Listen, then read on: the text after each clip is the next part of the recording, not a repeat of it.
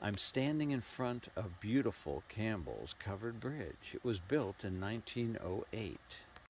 This is the 17th covered bridge that I have logged at Yoink Adventures. Yoink Adventures is the number one travel game on the internet. I am currently on the top of the leaderboard for covered bridges. If you love covered bridges as much as I do, log on to Yoink Adventures and catch me if you can.